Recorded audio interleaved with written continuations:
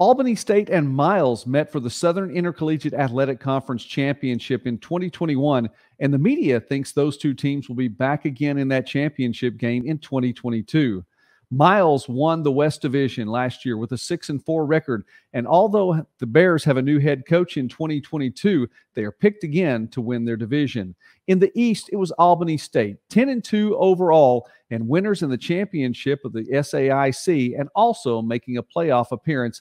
The media believes those two teams will be back at the top of their respective divisions this year. The rest of the preseason predicted order of finish looks like this. In the West, it was Miles, as we mentioned, picked second, Lane in the West, followed by Tuskegee, Kentucky State, and Central State.